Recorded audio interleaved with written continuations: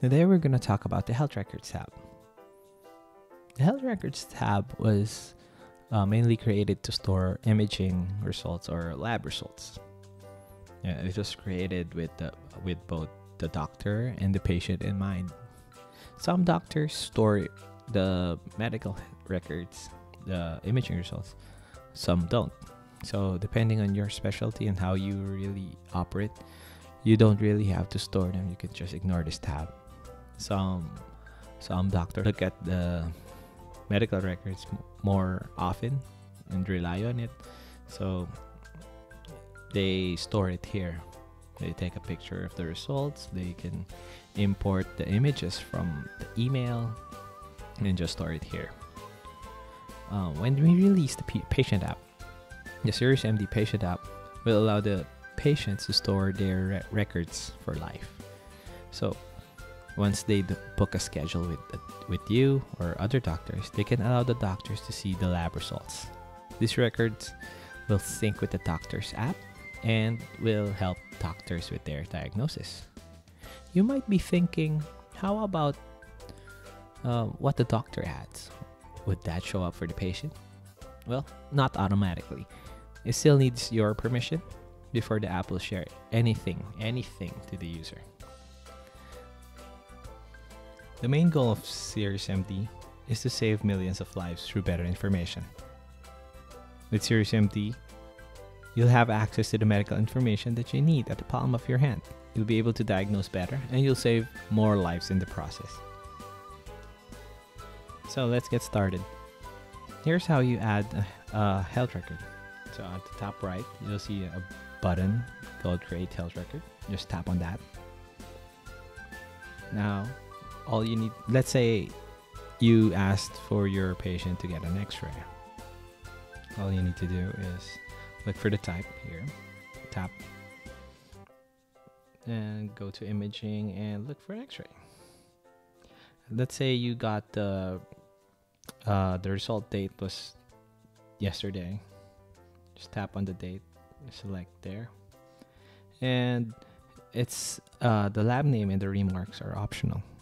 Say you just want to add some notes there, you can just add them there. Um, the required part here is the add photos part. All you need to do is add tap on add photos. Now it's it's up to you if you want to crop the image over here you say this is the only part that you want to see tap on the check button and there now you see it you can add um, extra photos if you want to by tapping on add photos again. And you can say let's say you have the image in front of you just um, press on camera and the camera will open. Okay? So that's it. All you need to do now is just tap on the create button and it'll uh, you'll see it there at the top. Um it's gonna sync to the server and it's backed up now. You can arrange your tests here and can filter out the um, what you want to see or what you don't want to see. And you can arrange by date. That's it. That's pretty much it. So if you want to edit it say uh, the x-ray again if you you can just tap on it if you want to look at it. You can zoom on it if you want at the right side you see us our um, edit, edit button. There it's rectangle button there below the create health record button. Just tap on that if you want to edit it and this pop-up will show up again.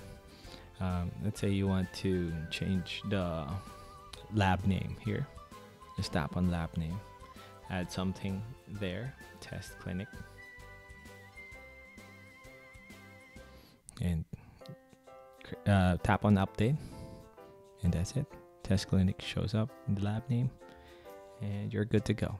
On the web app um, if you use the website to access um, SeriousMD um, which is on seriousmd.com slash doctor uh, you'll be able to do the same thing. All you need to do is just import the image and you're good to go. It's basically the same process and that's it thank you for watching this video um, we'll be back to add new um, new tutorials and other best practices videos and how-to videos soon. As always, we're here to answer any of your questions. You can just log inside the app and you can just go here at the side and tap on the support button at the lower left and just talk to us there. Talk to you soon. Bye.